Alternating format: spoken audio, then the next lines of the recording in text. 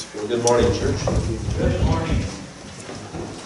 It's nice to see some faces here that we don't see very often. Uh, Emily, nice to see you back.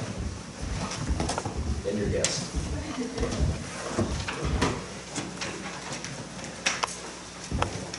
Let's pray.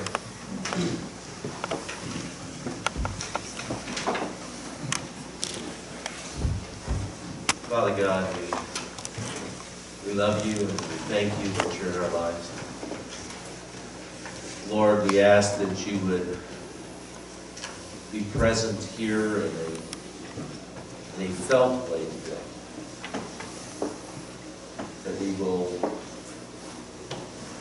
feel your presence in our lives, feel your presence in this service, Lord. That it won't be like we're just sitting in pews or, or in a church building, God, but that we will be in your throne room. Father, I pray that you will teach us and guide us, that we will see your heart today through your word. We thank you, Lord, that you love us and you desire a relationship with us. In Christ's name, amen.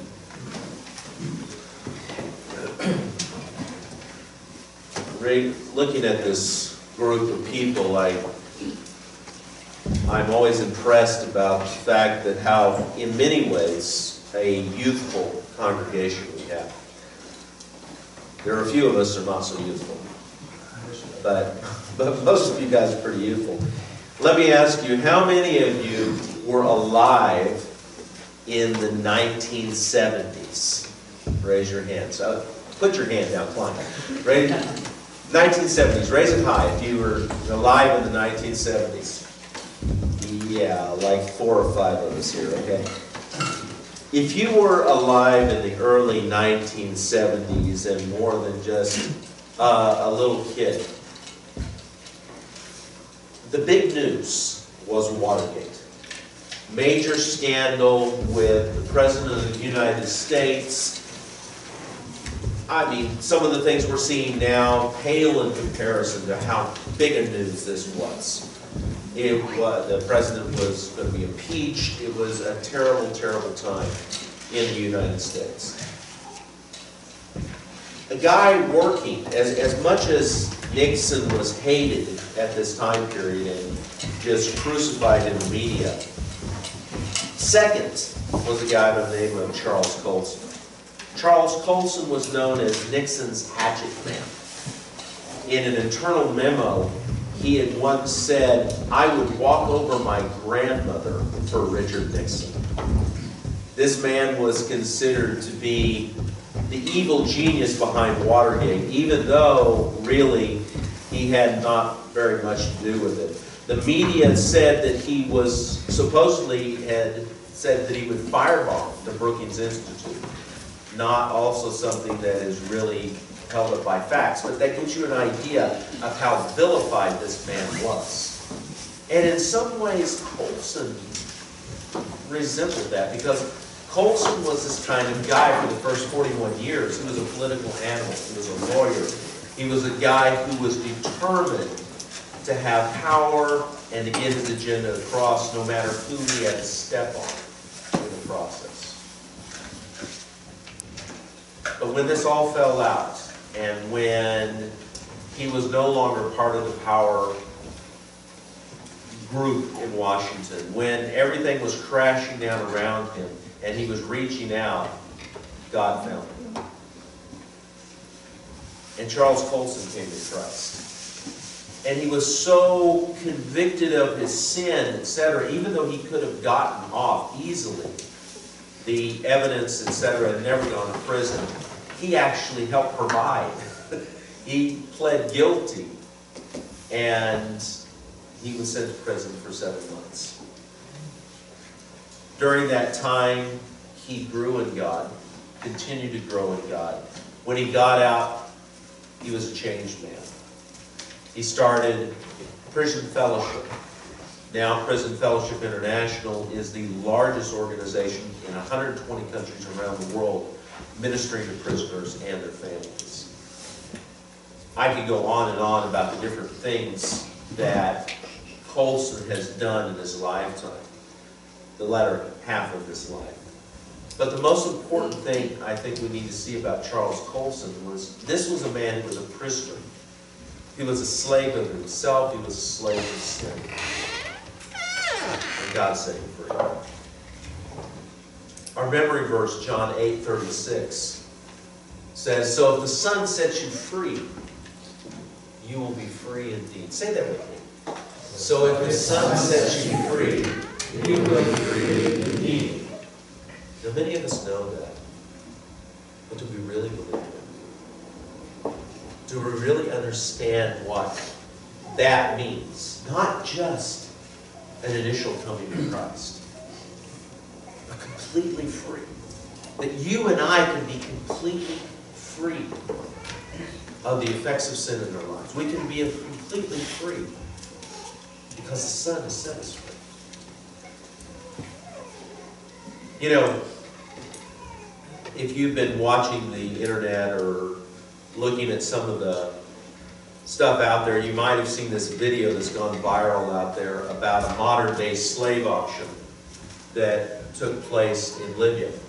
Some reporters had gotten in there with a little camera phone and they're showing this video of these men, these, these African men being sold, bid on and sold as slaves. Uh, I saw another video that a pastor shared with me from Cameroon that came in that was just, or excuse me, Congo, talking also about the, the slaves there, and it was far more graphic than that one. You were seeing beatings and stabbings and things like that. Terrible, terrible things going on. Modern slavery exists, yes, but a more common form of slavery is our slavery to sin. A slavery that is not of the body necessarily, but is of the soul. You and I deal with it. People in the world deal with it. And it continues to grab us and it continues to hold us. And the sad thing is, there's freedom available. We have keys.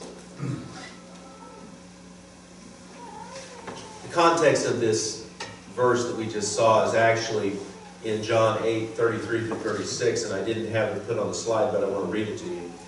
It says, They answered him, these are the Pharisees, he says, We are Abraham's descendants and have never been slaves of anyone. How can you say that we shall be set free?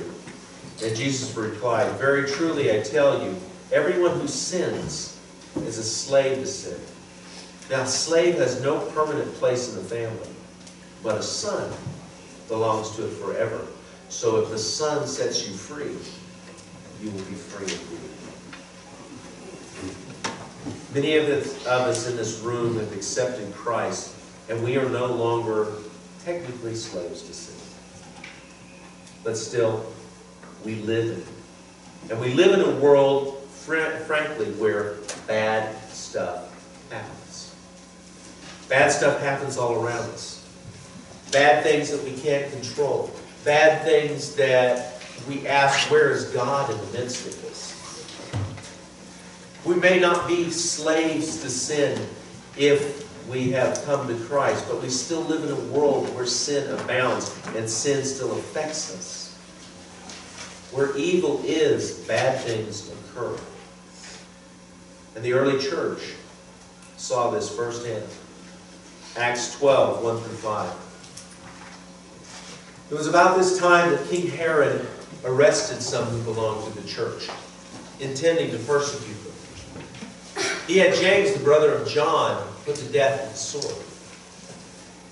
When he saw that this met with approval among the Jews, he proceeded to seize Peter also. This happened during the festival of unleavened bread. After arresting him, he put him in prison, handing him over to be guarded by four squads of four soldiers each. Herod intended to bring him out for public trial after the Passover. So Peter was kept in prison, but the church was earnestly praying to God for him. This was an absolute terrible, terrible time for the church. Probably not since the crucifixion of Christ had the believers faced such a disheartening moment as this. Now, we do know that Saul's persecution had taken place. And if you remember from that, Saul had been going house to house practically, dragging Christians out, taking them to be persecuted, putting them in prison, etc. But this time, this killing of James and possibly Peter coming up, would technically have had a much bigger effect. You see, part of the issue is, and why is it worse, is because Herod is involved. The Sanhedrin, the ruling council of the Jews, they had the authority, and Paul had been given that authority under Saul, had been given that authority under them, to go out and bring people in, right? To persecute them, to bring them to prison. But they couldn't execute them legally. Not legally. Remember, even Jesus' execution had to go through Herod and through Pilate. But now Herod is involved, and Herod can't. Herod can kill them. And you see the killing of James. Not a problem, because Herod has the authority. He has Rome behind him.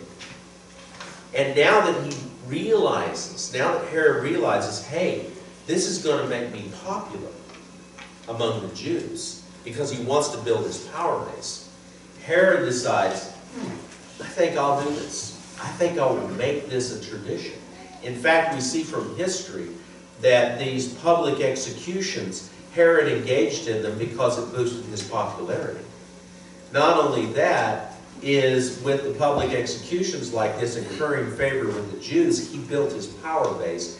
And in fact, all the way up into AD 66, you saw these executions continuing because of the idea of this nationalist resurgence, this idea of, Jude, the, of Judea coming back into power. And so this was a very big deal for Herod at the time, and it could have been very, very devastating for the church. So, sometimes bad stuff happens. Sometimes we get into situations that leave us wondering, well, where's God in all this? I mean, God has been building the church, right? God has been lifting up this ministry.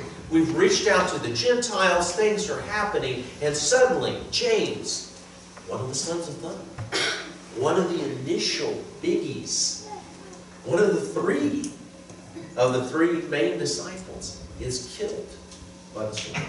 And Peter, another one of the three, is in prison. And I'm sure the church was wondering, God, where are you? What's going on? Have you abandoned us? And sometimes bad stuff happens. And we wonder where God is in all the suffering. Back in February 7, 2008, New Covenant, where this church was meeting at the time, New Covenant Methodist Church, had a fire. And the people in this church, you lost your home. Now, you ended up meeting in a choir room, but I'm sure the people of the time were going, Where's God in all this? This is a terrible situation. What's happened?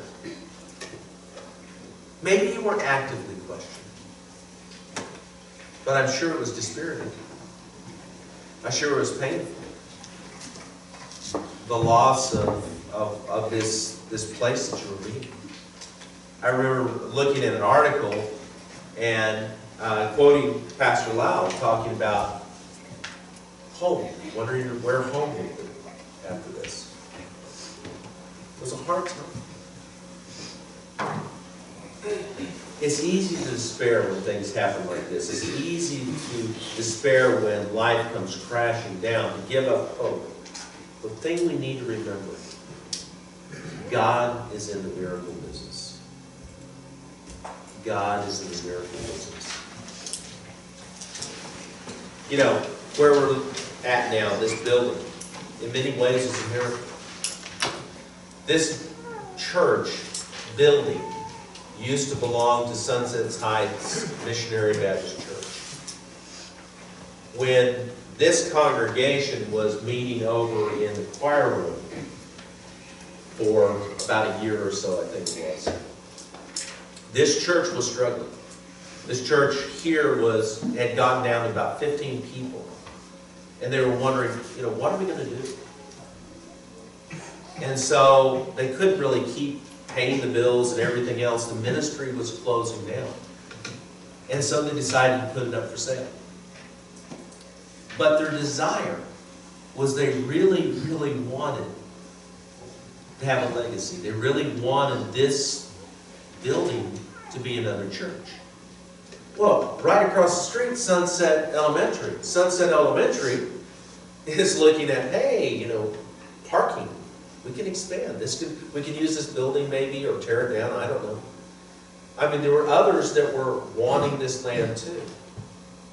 But God worked it out so that as soon as they put it on the market on a Wednesday, this church contacted on the Thursday and basically got into it, got this property, paid cash for it. And the church handed over the keys and everything basically. It was an amazing miracle of God because this church had been praying for a home, this church. And the Missionary Baptist Church had been praying for the continuation of the ministry here. And God worked it out. I remember during this time, I had no connection with this church. But I remember hearing about the fire after it had happened. And I think I looked on the internet to find out about it, and I got confused. I thought it had been recently. But I remember at the time being so touched by the fact that this church had lost its home. I remember praying for this church, never dreaming that I would one day be here. Definitely not in this position. It's amazing how God works. It's amazing the way He makes the connections. It's amazing the way everything comes together for His people. God was working a miracle in the early church's life too. Acts 12, 6 through 10.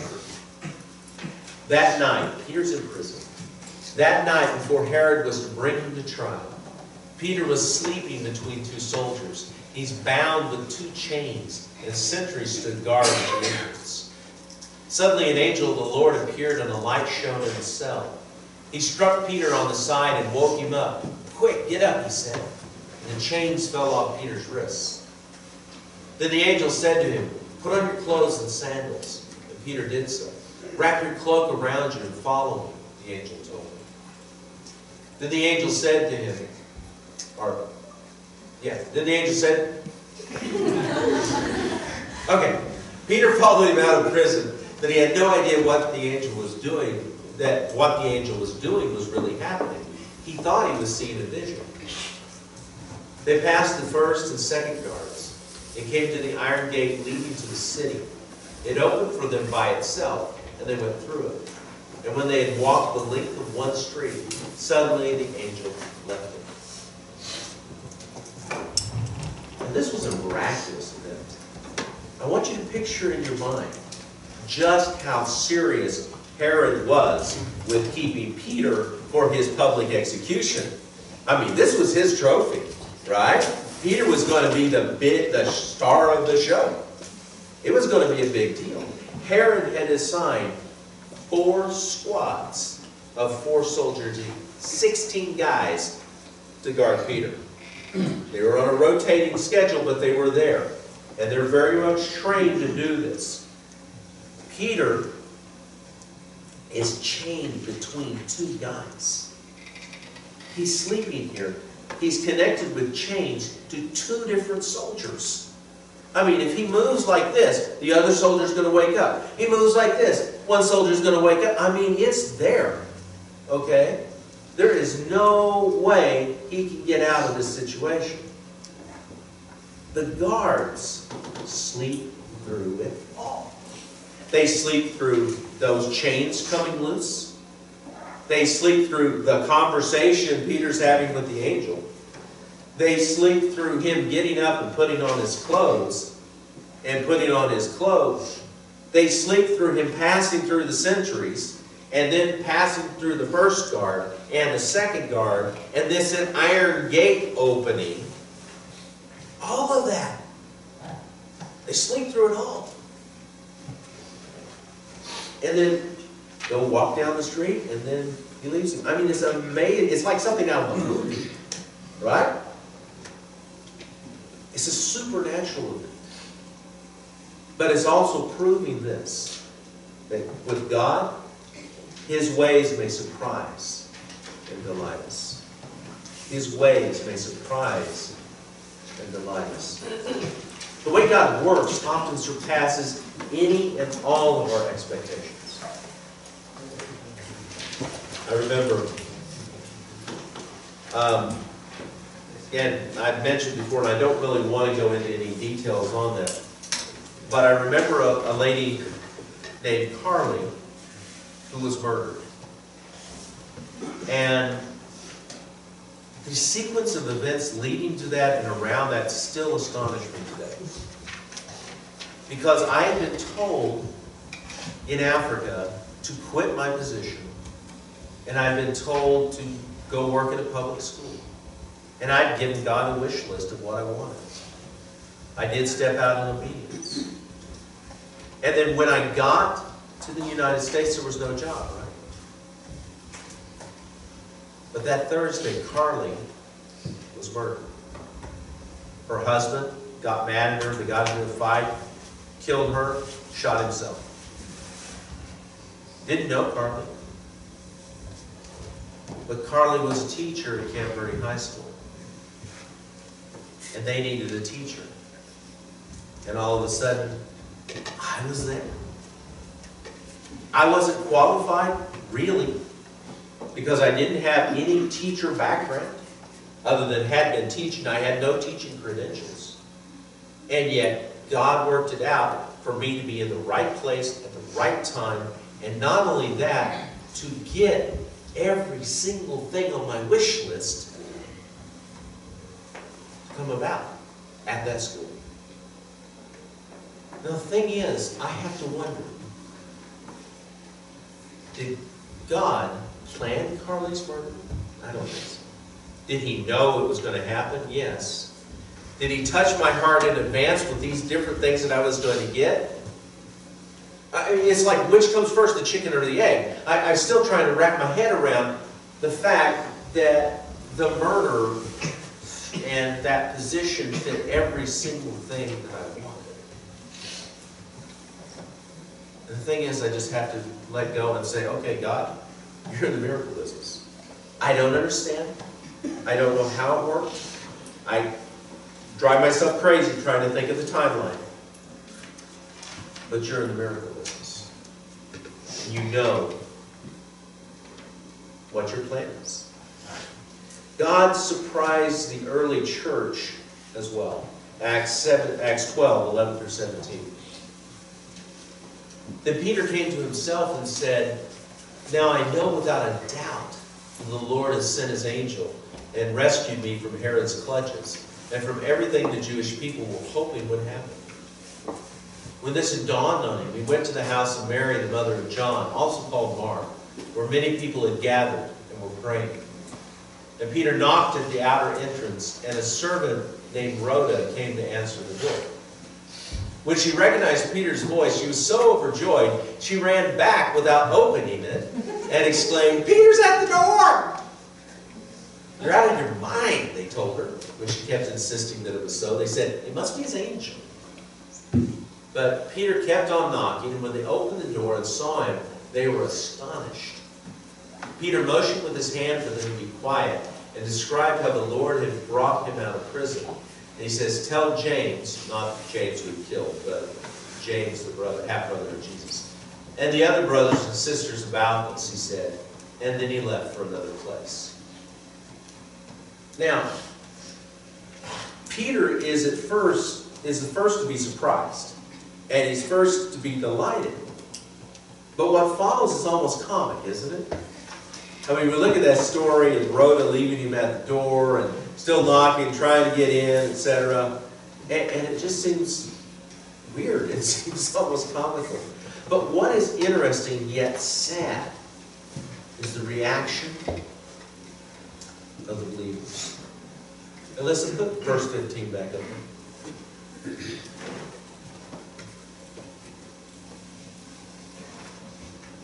They're saying, You're out of your mind. They told her. When she kept insisting it was so, they said, It must be his angel. That was a euphemism, so it must be his spirit. Like he's dead. What had the disciples been doing? They'd been praying. They'd been praying. But were they believing? Were they believing that God was going to free Peter? They were praying. But when it happened, they were astonished. When you pray, do you believe that God's going to answer? Do you believe that God really is going to work on your behalf? Or do you pray just because I need to pray? That's what I'm supposed to do. I'm a good Christian boy or girl, whatever, I'm going to pray. Do you believe it has an effect? Do you believe God listens? Do you believe that God really wants to work on your behalf and has your best interests at heart? Or do you believe it's just, you know, something you do? What did you believe about prayer? Yes, sometimes we pray for something, we pray for healing, we pray for whatever, and God does not answer as we would like. Yes. But that's where our trust in Him and His goodness comes into play. Where we realize that His plan is overarching, that He sees things differently than we do. And that maybe, just maybe, what we're praying for right now is second best. And then he has a much better plan. We need to trust him. We need to trust the person who has set us free. We need to realize that this Lord, this Savior who died on the cross for us, this Lord and Savior who gave us the keys to life, loves us. He wants what's best for us. And that He is going to work to make that happen, whether we understand it or not, or we see the picture or not. He set us free. And we need to live in that freedom.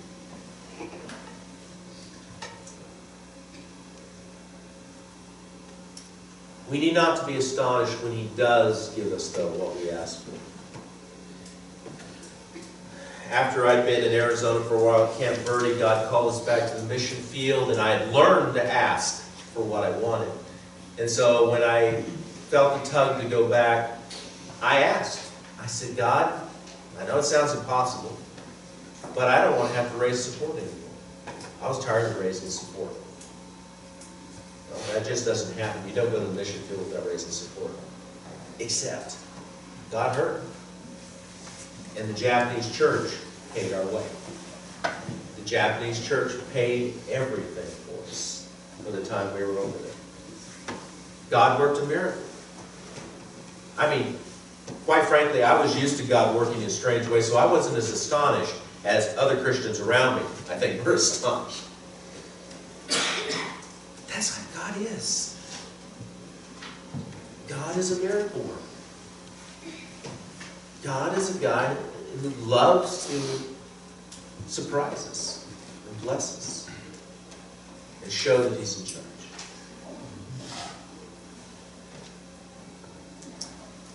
As believers, God's ways may surprise and they may delight us, but they will always confound His enemies. They will always confound His enemies. Because His enemies don't get it. They don't get the fact that God works in the lives of mankind. They don't believe in Him, first of all, and they don't, And if they did, did believe in him, they wouldn't believe that he was, had our best interests at heart. The world does not understand God. And so when he moves, non-believers don't recognize his hands and events. And they try to come up with another answer. And that's exactly what we see happening here in Acts 12, 18 through 19. In the morning, there was no small commotion among the soldiers as to what had become of Peter. After Herod had a thorough search made for him and did not find him, he cross-examined the guards and ordered that they be executed. Then Herod went from Judea to Caesarea, and he stayed there. Never once was there the idea here that, oh, maybe God freed Peter. No, that can't happen. Has to be collusion. It had to be, these guards were paid off. Why they would do that would be ridiculous. They knew the death sentence. The way the Roman army worked is that if you let somebody go, if you were guarding a prisoner and you let them go and they had been accused of a certain crime, you had to pay the same penalty. If it had been robbery, let's say, and you let a robber go, then you would have to pay the penalty for robbery. At this point, the penalty for Peter, he was going to be executed. So these guards, they know. There's no way we're letting this guy go. We will be executed. So what would have been the motivation, right? So why would Herod not have seen that? Something out of the ordinary had have happened. And yet they're not going to look at that. And the world doesn't do that either. When God works in miraculous ways, they say it's coincidence.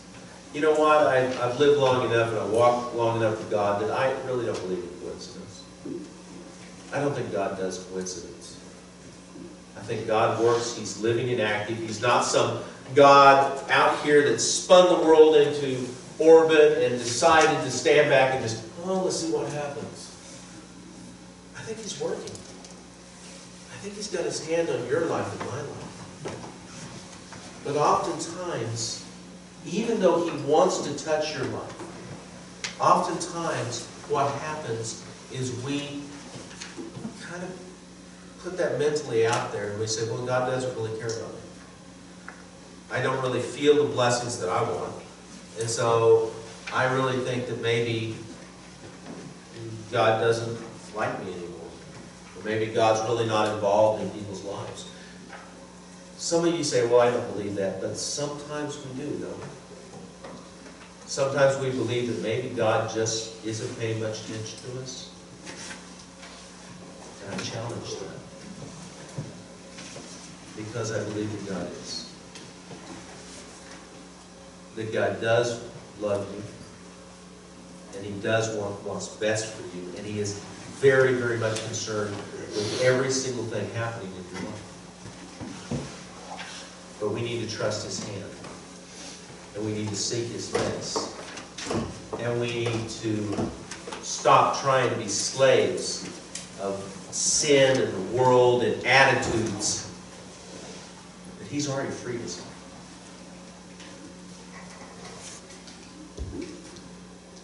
Peter was set free physically. But what about James? He was martyred. But he was also set free, wasn't he? Because he was freeing God. And God had a better plan for him. Live, die, thrive, suffer. All is in God's plan. And this life with its joys and its sorrows is less than a blink in the light of eternity. So God asked us this question. Have you been set free? Have you been set free? Maybe you've been coming here. Maybe you've been coming here for a while to be with your friends or your family or whatever. And maybe you've never found that freedom. Maybe you've heard the sermons, you've heard what people have said, but maybe you have never, ever made that decision to truly follow Him. We don't do many altar calls in here. But what I want to do with you right now is for those of you like that, that may, maybe you've, you've heard the name of God. You see people who are Christians, but you've never been part of that family. I'm going to pray. And I want you to pray along with me. I want you to pray along with me if this is your desire to no longer be an outsider, to be an insider, to no longer wear the shackles, but to be free. Just pray this prayer. Let's pray. Father God, love mankind, and I thank you that you love me. And Lord, I know that I've been living with the shackles of sin. I, I've been a slave to sin in my life, sin that keeps me away from you. I've been trying to go my own way, live my own life under my own terms, Lord, and it's just not working out. I've spinning my wheels, Lord, and there's an emptiness inside of me that can only be filled by you. And so, Lord, today I accept that free gift, that free gift of salvation that Jesus Christ paid on the cross for me. I accept, Lord, the sacrifice as my payment too, as my ticket, Lord, as my birth certificate into your kingdom and into your family. Lord, I accept you as my as my God, and I accept Christ as my personal Lord, my Savior. I no longer wish to be a slave. I wish to be free. Please forgive me now, Lord, walk in the newness of life. In Jesus' name I pray. Amen. If you prayed that prayer for the first time, you're on the journey. The shackles are, are off. If you truly believe what you prayed, you are now an insider. You are now part of the family. And I would love to have a chance to help you grow in that family. But maybe there's somebody here, you're part of the family. You have been part of the family, but you still, you're still living in a way that you're not free. Maybe you put back on the chains of, chains of slavery. Maybe you've tried to live your life without Christ as center. You're trying to do it your own way. That way is bondage. Any place that is not with Christ at the center of your life is slavery. You've been set free. So if that's you,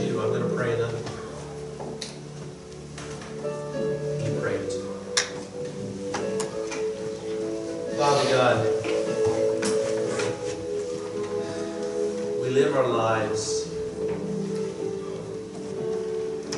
in ways that do not always please you. And I've wandered far from your life, from your center. I've tried to do things my own ways, and I've fallen short, Lord, of the glory of God. But Lord, I ask to come back to you. I ask that you help me put down these chains that bind me and help me to once again enjoy the freedom of Christ. To once again walk in the newness of life. To once again be filled with the joy of my salvation. Help me to once again trust you completely. To not doubt your hand Help me be renewed in my spirit, Lord, to be who you want me to be. Name.